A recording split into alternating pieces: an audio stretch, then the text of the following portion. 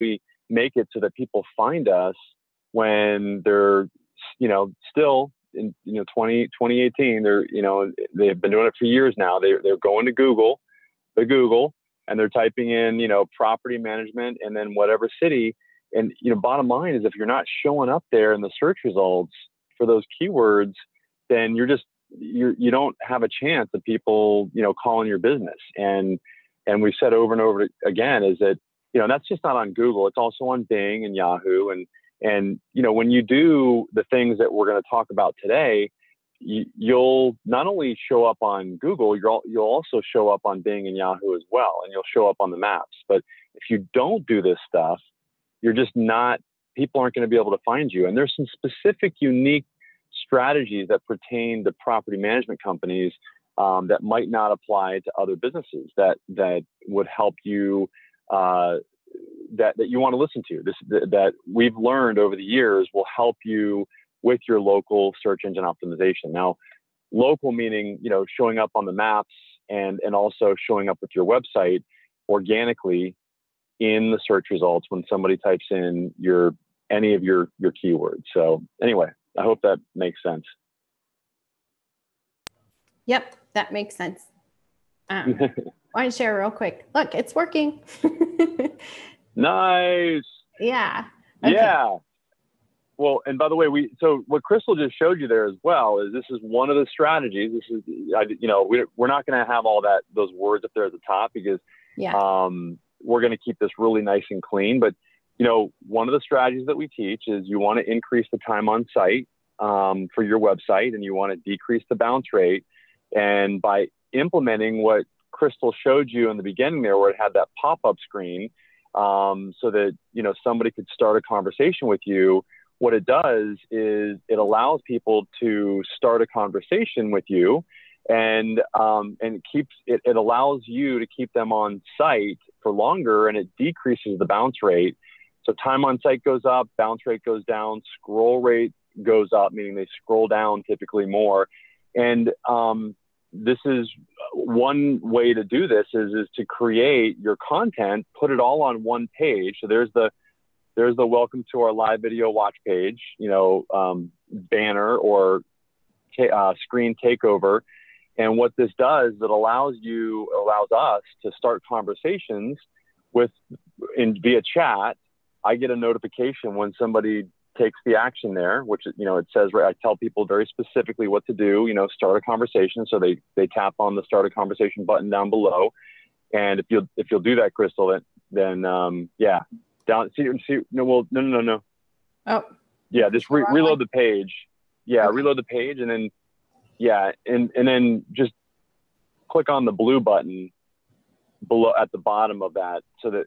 And this is this is uh, one of this is one of the strategies that you can implement in order to uh, increase your search engine optimization. Because when you do this, there you go. See the blue button? See the blue button?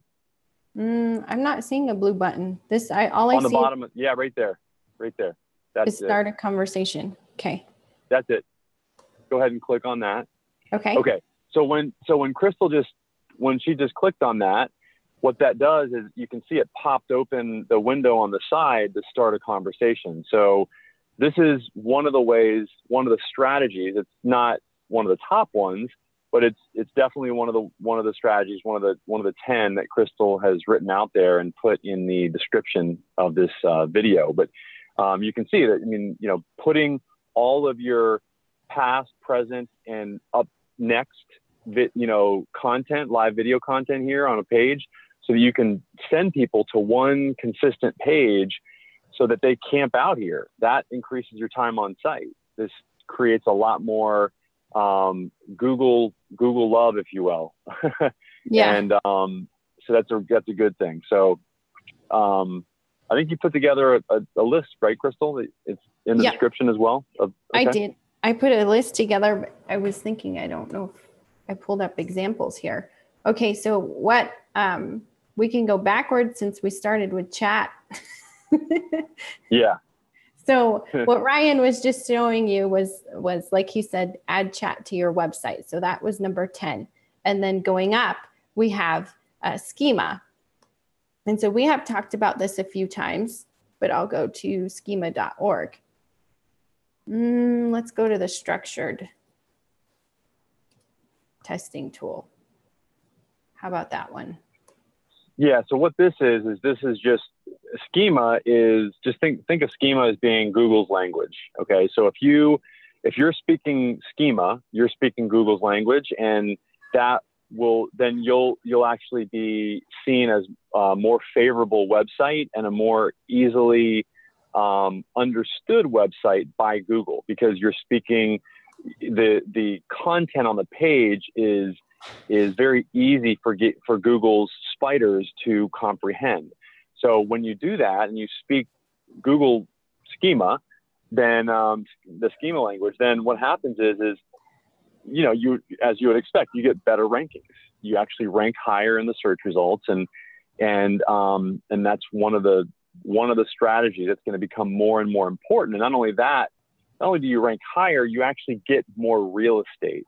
So you actually get a an enhanced an enhanced listing in the search results. So you'll actually show up if you're a restaurant with additional information listed with your business based on what additional uh, schema content you put on your site so that Google can see that. If Google doesn't see it, it doesn't show it up in the search results and you don't get that extra real estate. So that's uh, a really important, you know, tool to be leveraging right there for sure. Yeah. Anything else, Crystal? Nope, that's all. And if you have additional questions, send us a message. we can send yeah. link as well. Okay, next one create and connect your social media accounts to your website. Yeah, yeah and definitely, yeah, send us a chat. That's why we we added, you know, we now are going to be going live always from that live watch page is because you can always now start a chat conversation with us. And and you know, whenever you want to, you can just go right to the live watch page or and, and watch this content and engage with us and ask us questions right there and and uh, we will respond in, in real time. Yeah, I, I was going to show an example here, but I've got so many links, I can't remember which one I'm going to. Show an, an oh, here we go. What? Okay, so right here for our next one, which is create and connect your social media accounts to your website. So right here, to give you an example, we have our social media sites um, yeah. on our website. yep. And we also have a, a Sumo uh, plugin that allows people to share our content as well. So you know, you definitely want to make it very easily shareable. Your your your anything on your website, any blog content, etc. Perfect. Okay.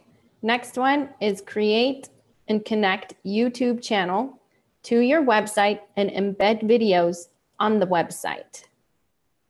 Yeah. So we have our blog here. Yeah.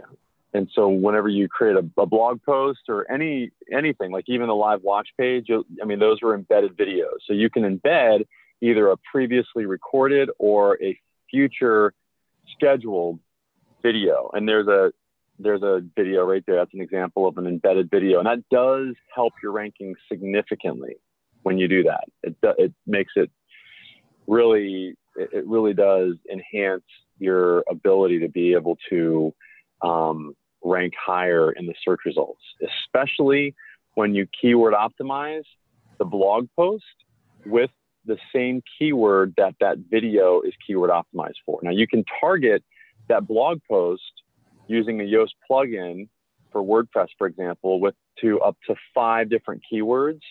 Um, and the video, though, you really want to just target one keyword for the video. But so whatever your top keyword is that you're targeting with the blog post, you'll want to also target that same top keyword in with, you know, that one keyword on your video. Also, Ryan, would you recommend that it be YouTube video rather than Facebook, for example? Um, I, I, would, and, and, here's the reason why is because um, here's why. It's, it's, a very good question. Um, all day long, because because Facebook, I mean, Facebook's great, but here's mm-hmm. the deal: uh, Facebook uh, does not have the longevity. And like, for example, this, this applies to our embed codes for our videos as well, Crystal. Um, any embedded videos that we do on our live video watch page and that you guys do, I would definitely embed those YouTube videos because um, Facebook is is more of a it's a social video platform. It's not a although it's got a ton of views, it's not a long-term search. I'm gonna, you know, I'm gonna do a search and find XYZ video. Yeah. Um, it's a it's a social sharing um, site, and your video will only have legs, so to speak. It will only have reach for maybe a day or two that it that it stays in a timeline in, in your timeline or or that it's that it's immediately relevant based on the shares that you know that people are giving it but if you if you do actually create a youtube video and you post it to your website like like this that video will have huge reach because it will typically rank in the search results and it'll boost the ability for that page that blog post to rank higher for that that keyword as well it's been proven so you get a double benefit. Not only does the page potentially rank higher uh, because you've embedded that YouTube video, which obviously, as everybody, most everybody knows, YouTube's owned by Google. So you know, Google wants you to use the tools, like I've always said that that it has. And if the more you're able to use its tools and mm-hmm. its content and its platforms, the more that it's going to give you what you want. And that's yep. you know obviously additional searches. So for that reason, absolutely, because you're going to get more long term, you know, findability for that, for that, not only the blog post that you embed the video on, but also uh, for the YouTube video as well. Um, that's the big reason why I would embed YouTube videos uh, for sure, 100%. Perfect. Thank you, Ryan. Yep. I know that question's yeah. coming up. Yeah. So I figured I'd ask. Yeah. Okay. Start off page optimization with link building? So when I know we don't have, you know, we got to be cognizant of the time that we have. I think yeah. we have like, you know, what, 18 more minutes, but, um, or no, 15 more minutes, but, but, um, start off page. So basically, and, and I want to also say that, you know, if you, there are other platforms, you can use Vimeo and, and there's, there's other platforms like Screencast and, you know, you can use those other platforms and sometimes it does make sense on a landing page, you know, like if you're not trying to, you know, optimize the page to for search results, to put a, you know, to use a different, you know, like type of embed uh, plat, uh, platform to embed that video.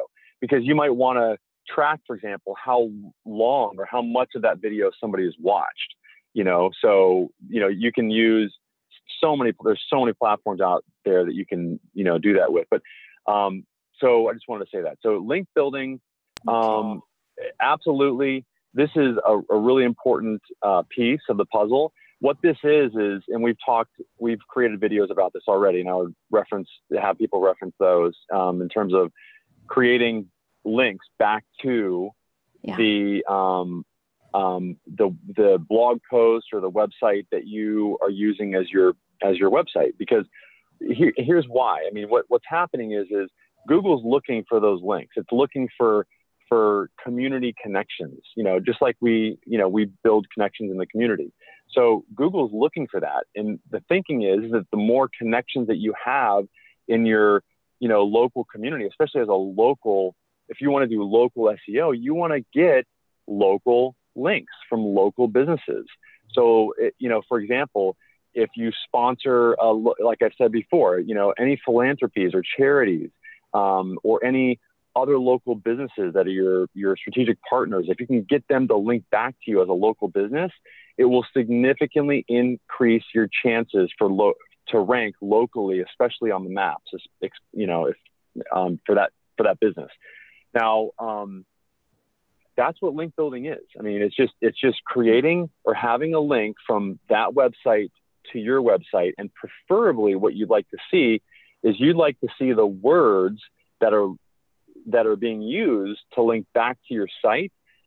Those are called that's called the anchor text. You want that those words to preferably be your targeted keyword. So, example, for example, if a property management company is trying to rank for the keyword property management, you know, San Antonio, you would want that uh, strategic partner to uh, create a paragraph, and then when they link back to your company's site, you would want the words that they're using to link back to your site to be property management San Antonio, so that that's the anchor text. That's that's what that's the the word that in essence pass through to your site as being relevant. So they're so Google's seeing that and they're seeing, oh, this must be a you know this website might must have something to do with the words property management San Antonio, which is exactly what you are looking for. I mean, you want those keywords to pass through that that link juice with those keywords to pass through to your site. Okay. So Perfect. that's what that's what off-page optimization. It's not it's not on page. It's it's it's getting those off-page links back to your site. So. Okay. And the next one, claiming yep. Additional directories, which are the top 72 that we recommend. Yeah. And and for property, keeping this focus on property management companies, I mean, there's there are more. Mm-hmm. Um, there, there are some there are some property management specific directories out there that are more important than others. I mean, you know, obviously, um, you know, like Realtor.com, if you can, you know, get listed on on that, uh, you know, as a as a property management company, or any other local here, here's the other thing. If you can get listed on a directory for like NARPM, the National Association of Property Managers, um, those specific, you know, there's there's obviously other NARPM type organizations in Canada and and yeah. the UK and Australia and New Zealand, etc. Um, you want to get listed on those on those directories. Those are really really important for your for your business and any other local property management niche specific um, directories if, if you have them or sites that mm-hmm. refer to you know property managers um, or that would you know that would have something to do with property management so anyway the yeah. claiming these 72 additional directories there's there's 72 that are generically like the top directories for all businesses and you just want to go out there and, and claim them and set them up and create them and then obviously key thing is is to put that link, that all important link, in the directory that links back to your website. Hmm, perfect. Okay, on page optimization of website. so on page optimization of website, um, well, well, let me. What do you think it is? I'll let you answer this.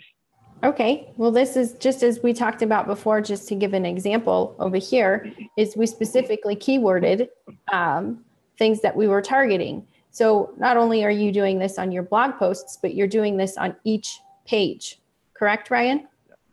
Yes, exactly. Okay. So you're using the keywords in the title in of the of the blog post. You're using the keywords in the video, like I said before.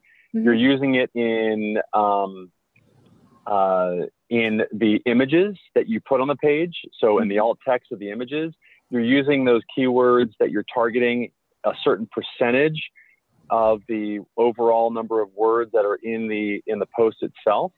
Um, you're also using the keywords in um, uh, paragraph um, headers, so like headlines. So you want to use those in the headlines. Um, there's a, there's a, that's why we use Yoast because it makes sure that you're that you're doing all of that stuff. It makes yeah. sure that you're really, you know, leveraging all of the different, there's about 10 different um, things that you want to do in terms of, in addition to um, obviously using the title and the tags for the, for the blog post and making sure the slug, they call it a slug for the, you know, for the, um, uh, for the post is using the keyword and, and, you know, that's, that's what the on-page optimization is. Yeah. Okay, perfect. Now get more reviews. since we kind of went backwards, first I want to yeah. say the second one before I say get more reviews, which is really, you know, getting your business on Google. So you've got to uh, claim your Google My Business page, and then you've got to make sure you're on Google Maps and Google Plus because you can't really get reviews if you don't have a Google My Business page. I mean, yeah, you right? can, you can on other, you know, directories, but the main one that we're focusing on today is Google My Business. Yeah. Yep. Exactly. So, you know, there there are instructions out there for setting up your Google My Business page. You want to give anybody some, you know, heads up on, you know, or, or things to watch out for when setting up their Google My Business page? Um, okay, like as far as going to business.google.com to set up your Google My Business page? Yeah. Okay. Yep. So, oh, well, I guess I can't really. Um, once you go to business.google.com, there is going to be a sign in at the top right. I don't know if I can pull it up since I'm logged in. That's okay. I, I don't want to log what, out. What else would what else, what are the other things that people would do to quote unquote optimize or Google My Business page? Oh, well, every field needs to be answered. It can't go blank. So if it's asking for an address, you know, fill that information out. If it's asking for a phone number, well, let's go back. Make sure your address and your phone number is listed in the exact same way as it is on your website. So if you have street abbreviated on your website and then you spell street on um, and then you spell out the word street on your google my business page that's not really communicating correctly. So those have got to be right. correct. And then for your phone number make sure your phone number is the same from your website over to your google my business page as well. Yeah. Yeah, yeah. that's awesome. That's really good. And, and um you know, and then also things like, you know, a- adding the uh, questions, you know, to the Google My Business page. You know, if you're in the U.S., you know, connecting um, Messenger so that so that people can message yeah. you. Basically, just like I've said before, using all the tools, you know, that Google gives you access to. When you when you give Google what it wants, Google, you know, which is using their tools, then Google will give you what you want. And so there's a lot of really cool tools like, you know, being able to add more photos and mm-hmm. add more posts and you know you can even upload videos now directly to the google my business page outside of youtube so yeah. it's just you know obviously responding to reviews you know like all of those things when you just engage with your google my business page and do that and google sees that i mean it's it's there's a direct connection and by the way the other thing I want to mention is, is you know, speaking of that, is you know, it's it's connecting, for example, your Google My Business page to analytics, like connecting all of the different Google properties. You know, Google Analytics. We were just talking to Martina the other day, and or actually another customer, and they didn't have analytics connected, or they didn't know if they did, and and so you know, connecting, you know, your all your Google accounts together um, that tells Google something, and that that is important for your overall search results. When Google sees that you're that you have your YouTube channel connected to your analytics, connected to your, you know, um, search console, you know, connected to your, you know, yeah, everything, then that that is a very that's a little bonus. You know, that, that's a, a, a bonus tip right there. Um, it's a very important to make sure that you're using all of those available tools, not only you know, for for the benefits that you get because Google will tell you what's you know what's not working on your site. It'll tell you if you have slow load times. It'll te- if you if you connect the Google Search Console, for example. Mm-hmm. Um, the analytics will tell you you know what kind of views you're getting and and how many new users you have and so why not use these things? In addition, you know you'll get the benefit of actually getting better results in the search results. So. Yeah. yeah. And then once you do that, then yes, get reviews. You know, number three is get reviews. Like just ask for reviews, get as many as you can. Um, it does help your search results. People don't know that, and it's and then answer the reviews when you get a review. Like respond is really really important. Yes. And then we got one more, right? And one more, which is the very first one that we recommend, is running a SEO audit. So that this really tells you what's out there and it gives you an outline of where to start. Yeah. Yeah. Run, yeah, run a search engine optimization audit. So you have a, a baseline. So you know, and if you get a good audit, you know, there's tons of them out there.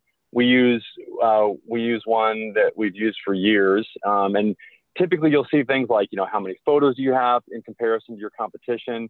Um, you know, there's some good ways to be able to tell a good audit. Number one, you want to make sure that it's that it's comparing you to your competition, so you can see what your competition is doing as well, and not just you. Um, and then also, you want to make sure that that it's comparing a lot of different parameters. It's not just one or two. It's looking at, you know, like how many photos you upload, how many links, backlinks you have, um, you know, as many. I'd say minimum of five different parameters is what you want to make sure that you're that that particular search engine optimization audit is looking at.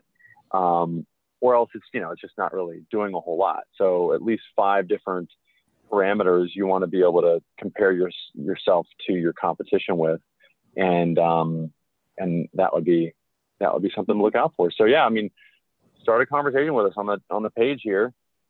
You yep. can always go to accelerateyourmarketing.com forward slash live um, in the future if you want to, you know, if you want to see what, you know, uh, live videos we have scheduled, um, what live content we have coming up next, and what we've done in the past.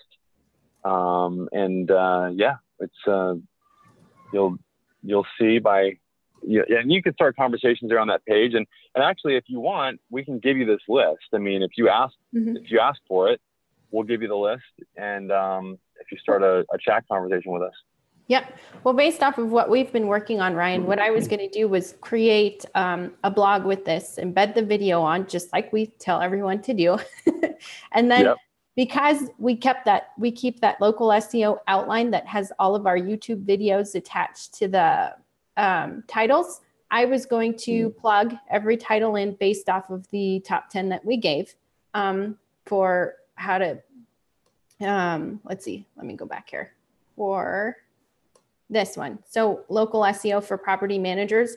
We have a video for each of these. And so I was just going to attach that into the blog. So if somebody wanted to, you know, further expand their um, knowledge on that area, they could just qu- click on that YouTube video. And then I was going to add our transcript script as well. So they have that text and recommendation. Perfect. So um, so I have that. But in the meantime, until I, you know, get that blog, I'll also post it on our various websites. Um, I do have the blog post in our comments on Facebook of, you know, conversation marketing, your secret strategy to double leads, conversations, and speed of sales. So that there, if you can click on that, it'll take you to our blog to explain that. And, and it'll also give you um, the opportunity to chat with us like we've been talking about. Yep. Yeah, that's awesome. Uh, thank you, Crystal. And what do we, what's the, on, on deck for next week? So for next week, let's see. Last week we talked about online reputation. This week was local SEO. So next week we will touch base on Google My Business for that. All right. Yep. Cool. All right, everyone. We'll create a great rest of your day. Thank you.